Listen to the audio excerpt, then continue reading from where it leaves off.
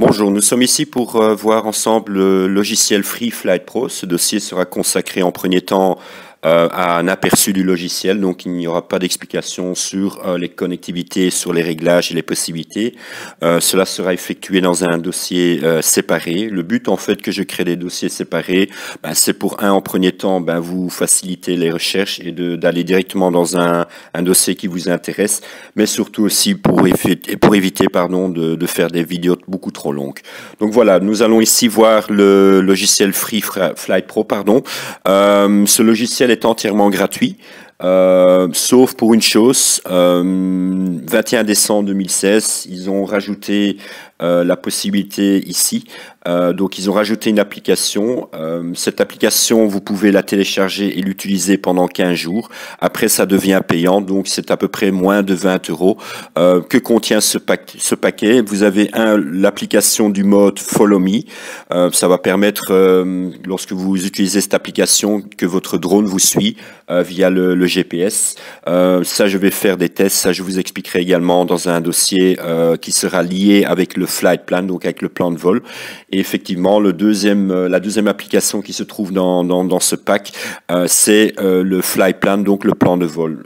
pour faire court, le plan de vol, ça va permettre en fait de via via carte satellite de créer un tracé pour pour faire voilà pour faire un plan de vol pour pour aller filmer quelque chose de de, spécial etc donc c'est quand même assez assez un, un beau un beau un beau software naturellement il y a des règles à respecter etc. Donc c'est pour ça que je vais créer un dossier euh, séparé pour vous expliquer tout ça.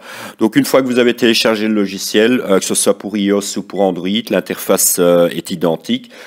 vous allez avoir donc un, icône qui qui est apparu et je vais tourner mon iPhone, voilà. Et vous arrivez sur l'interface qui se présente de telle manière. ce que je vais faire, je vais commencer par la première chose que moi je conseille de faire, je vais directement ici me connecter pour vous montrer euh, ce que je veux vous dire par là. Voilà, je vais déconnecter. Donc la première chose que vous faites quand vous, arrivez dans l'interface, euh, c'est de vous inscrire. Vous avez la possibilité euh, ici, quand vous allez dans Mes vols, en fait dans le dossier Mes vols, vous allez avoir tout le récapitulatif des statistiques de votre Bebop. Euh, qui va vous donner en fait toutes les informations de vol, que ce soit l'altitude, euh, la vitesse, euh, que ce soit s'il y a eu un problème moteur, est-ce que vous avez enregistré quelque chose au niveau média ou au niveau photo. donc c'est vraiment le, le, on va dire le, le cœur de, de, de, tous vos, de, vos, de tous les statistiques de vos vols. La première chose que vous devez faire pour pouvoir en premier temps ben, visualiser, mais également partager vos, vos, vos plans de vol, c'est de vous inscrire gratuitement. Lorsque vous allez cliquer donc simplement ici, vous allez dedans et vous arrivez sur cette page. Dans mon cas, comme vous voyez ici du côté gauche, je suis déjà inscrit. Lorsque vous n'êtes pas encore inscrit, vous allez simplement donc créer un compte euh, sur le, compte ParrotCloud et vous mettez toutes vos coordonnées avec éventuellement photo et, et GameTag, etc. Donc ici, une fois que vous êtes inscrit, je vais simuler.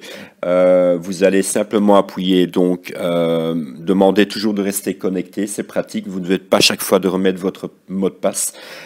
moi, je vais faire ma connexion. Voilà. Donc imaginez-vous que vous avez été euh, inscrit et que vous êtes connecté. Lorsque vous allez aller dans mes vols, vous allez voir automatiquement, ben voilà, donc je suis connecté. Vous allez avoir ici euh, le temps de vol, combien d'heures de vol vous êtes déjà euh, affiché? Bon, chez moi, vous voyez que 18 minutes.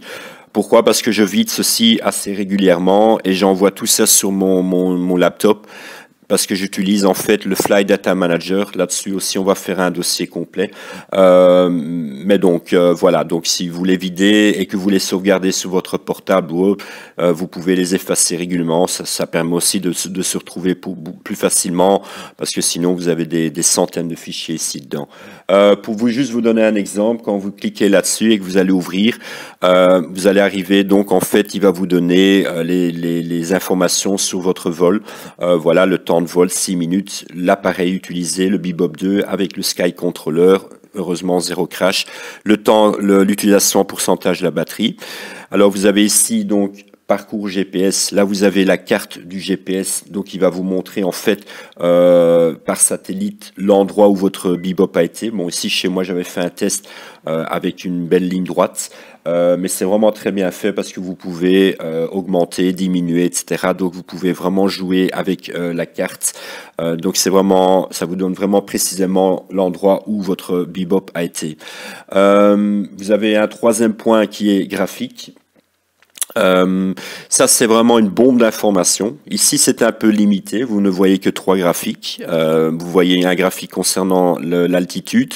Vous avez un graphique, donc le mauve, pour la batterie. Vous avez un graphique le bleu pour l'altitude. Donc vous voyez ici, j'ai monté jusqu'à 80 mètres. Et vous avez un troisième graphique qui est pour en fait euh, la vitesse. Euh, vous avez deux possibilités. Bon, ici dans le dans le software ici, vous l'avez en, en mètres secondes.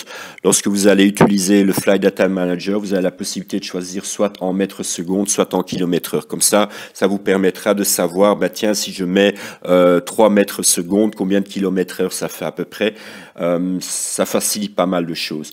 Euh, moi, ce que je veux dire là-dessus, c'est que lorsque je vais faire le dossier du Fly Data Manager, euh, ici vous allez pouvoir tirer énormément d'informations.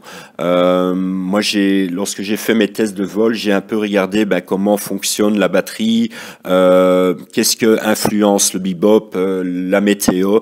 Je donne un exemple quand vous avez un, vent de face ou un vent sur le côté, ben, ça change toutes les données, ça change toutes les on va dire l'épuisement de la batterie ou la diminution de la batterie. Donc c'est vraiment une bombe informations, ces statistiques que vous avez dans, que vous recevez de votre bebop. Pourquoi? Parce qu'il a euh, dans son, dans son, dans sa carcasse, on va dire, euh, un GPS intégré et euh, c'est vraiment toutes les informations qui sont possibles qu'il peut recevoir et que vous pouvez utiliser par après. donc voilà. Donc concernant ceci, vous avez vu les possibilités qu'offre donc Mevol. Euh, sinon, pour l'interface, on va vite passer sur quelques, quelques petites choses qui sont intéressantes. Donc ici, vous allez voir quand vous cliquez sur euh, le petit onglet qui se trouve là, vous allez arriver, ben, en premier temps, vous, avez, vous voyez quand vous êtes connecté. Alors le Flyplan, donc comme moi je l'ai euh, je l'ai acheté, euh, il va être de cette manière-là. Quand vous l'avez pas acheté, il y aura un petit cadenas et vous pouvez éventuellement l'acheter séparément. Euh, et donc dans le Flyplan est inclus Follow Me, pardon, et donc ça, ça se coûte à peu près un peu moins de 20 euros. Euh, par contre, ce qui est intéressant, c'est ceci, ces tutoriels. Euh, lorsque vous allez cliquer là-dessus, en fait, vous allez pouvoir euh, directement via la base de connaissances de chez Parrot. Vous, vous tombez en, fait sur le site de Parrot et vous allez choisir votre drone. Dans mon cas, j'utilise un, Bebop 2. Euh, et vous allez pouvoir utiliser toute la base de connaissances et voir euh, des réponses peut-être que vous avez à des questions. Euh, moi, je dis toujours, avant de poser, euh, faire un post et de poser une question, allez d'abord voir sur la base de connaissances. Pourquoi? Parce qu'il y a énormément de, de réponses peut-être à vos questions. Donc, vous avez deux formats vidéo-texte. Dans le dans le format vidéo, il n'y a pas grand-chose. Il n'y a que trois vidéos.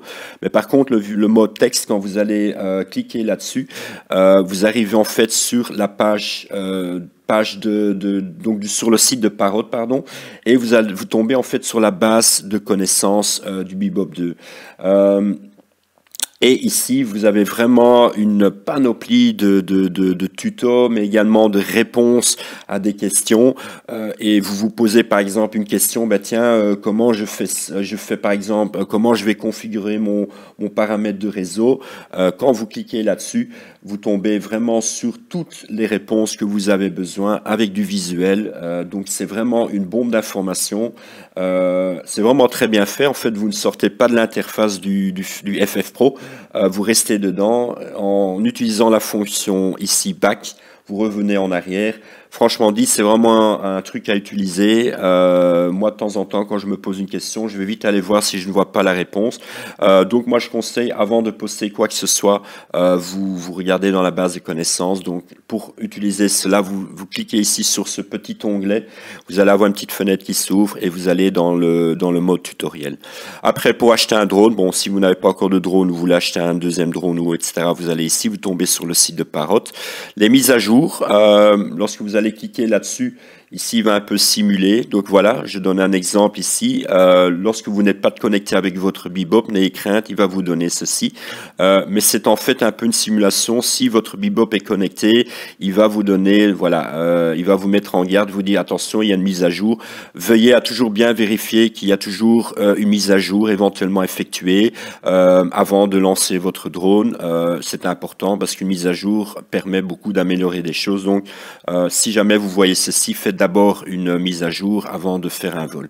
Euh, et chaque fois quand vous avez, vous voulez sortir, vous appuyez en fait sur ceci, c'est pour euh, retourner en arrière et vous revenez ici. Je vais recliquer sur l'onglet. Donc ici, euh, mais euh, pour le reste, voilà, mise à jour et après pour à propos, bon là il n'y a rien de spécial. Euh, lorsque vous cliquez de nouveau sur l'onglet ici en haut, la fenêtre va se fermer automatiquement. Et pour le reste, vous avez ici l'interface du FF Pro. Qu'est-ce que vous devez retenir? Ben, En premier temps, ben, ici va s'afficher le nom de votre drone va montrer s'il est connecté ou il n'est pas connecté. Ici, c'est pour lorsque vous êtes branché avec le Sky Controller, il y aura un petit logo de la, de la, du câble USB. Le fly plan, ben, c'est le fameux plan de vol. Ça, je vais vous montrer dans un dossier, euh, euh, séparé. Euh, également pour la fonction follow me qui sera un peu relié avec le fly plan. Donc là, ça sera un dossier également séparé. Et en fait, ce qui est le plus important pour, pour le retour vidéo, ben, c'est fly film. Lorsque vous allez cliquer là-dessus, eh ben, vous tombez en fait ici. Euh, je ne vais pas trop rentrer dans les détails sur les possibilités, etc. Voilà à quoi ressemble donc euh, l'interface euh, donc du FF Pro. Lorsque vous êtes donc, je retourne en arrière pour vous montrer. donc quand vous cliquez donc ici en bas sur Fly and Film, vous arrivez directement sur l'interface de votre FF Pro. je ne vais pas rentrer trop dans les détails. Donc ici en fait vous avez pas mal de petits boutons. Euh, en premier temps, ce bouton-là, c'est pour la configuration.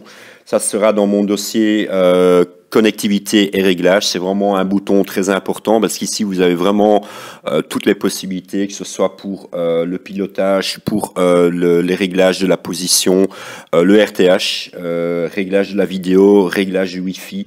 Donc vraiment une panoplie de choses très importantes, mais sera effectuée dans un autre dossier. la fonction Follow Me est active chez moi. lorsque, vous n'avez pas l'application, je répète, le FF Pro est gratuit.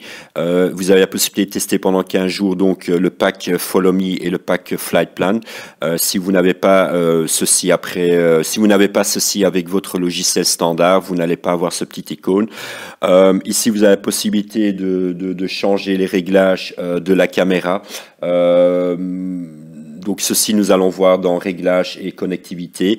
Mais ici, vous avez la possibilité de modifier la qualité, etc. Donc ça, c'est un point aussi important.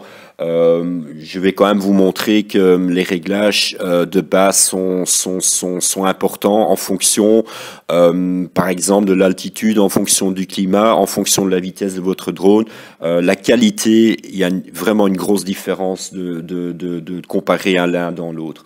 Euh, sinon, pour le reste, lorsque vous avez ici aussi ben, le fameux RTH, donc le retour à la maison, c'est une fonction quand même importante. veuillez toujours à bien tester tout ça mais ça, je vous montrerai euh, les, techniques de test euh, que vous pouvez effectuer pour un retour à la maison. Ceci est utilisé en fait pour, euh, vous pouvez faire des figures euh, pour dans votre drone. Il y a à peu près, je vais une fois cliquer dessus. Je n'ai pas encore testé ça. Vous avez plusieurs sortes de figures que vous pouvez faire avec votre drone. Euh, attention quand vous faites ça, je vous montrerai dans la vidéo de test. On fait pas ça n'importe comment ou à n'importe quelle hauteur. Donc veuillez toujours à faire attention quand vous utilisez ça. Donc ça, on verra ça plus tard. Euh, sinon, vous avez ici encore un icône, mais ça c'est pour prendre directement une photo. Euh, lorsque moi dans mon cas j'ai le Sky Controller, donc moi je peux utiliser euh, cela directement via mon Sky Controller.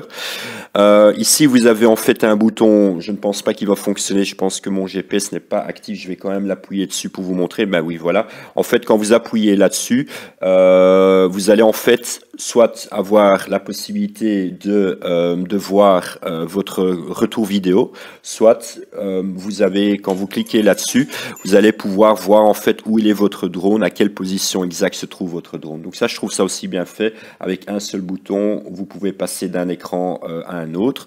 Et sinon, pour le reste, bon, ici vous avez les directions, donc pour aller à l'avant, à l'arrière, faire une rotation 360 degrés, et si pour aller à gauche, droite, avancer et reculer. et si vous avez toutes les indications en bas euh, concernant votre drone en lui-même, euh, la vitesse, donc ici elle est en mètres secondes, euh, ici, vous avez l'altitude. Ici, vous avez la distance entre vous et votre drone. Si votre drone est connecté et votre, votre signal Wi-Fi et le pourcentage de la batterie. Donc voilà, ça se présente un peu de cette manière l'interface. Euh, je vais retourner en arrière. Et donc ici, ce dossier-là, c'était simplement pour vous familiariser en premier temps avec l'interface. Si je peux résumer un peu dans l'ensemble euh, concernant ce dossier-là, ben, la première chose que vous faites quand vous, vous avez donc acheté votre drone ou vous avez votre drone, c'est de télécharger euh, le Free Flight Pro. Euh, il est gratuit. Euh, vous allez soit sur, pour, si c'est pour iPhone, iPad, mini iPad sur votre l'Apple Store. Si c'est pour Android, vous allez sur le marché et là vous pouvez prendre pour votre tablette et smartphone.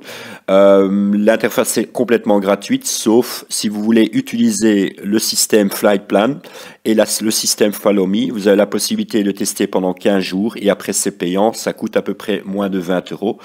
et la première chose que vous faites quand vous arrivez dans l'interface, je répète, vous allez dans Mes vols et vous allez simplement euh, vous inscrire gratuitement, vous créez un compte et vous êtes à ce moment-là dans, dans le Parrot, Parrot et ça permettra de, de, de, de, récupérer tous vos statistiques de vol. Moi, je vous conseille de faire cela parce que si vous oubliez de, vous inscrire, vous n'allez pas avoir de retour de statistiques. Donc, si jamais il y a un problème, ben vous ne savez pas, euh, voilà, vous avez un, gros souci, vous n'allez pas pouvoir récupérer euh, les informations de votre votre Bebop. Voilà, je crois que j'ai dit à peu près tout. Euh, si vous avez encore des questions, vous n'hésitez pas à me les poser. Et donc, ceci, c'était le dossier concernant la présentation du logiciel Free Flight Pro. Et nous nous voyons pour le prochain dossier. Merci beaucoup. À bientôt. Au revoir.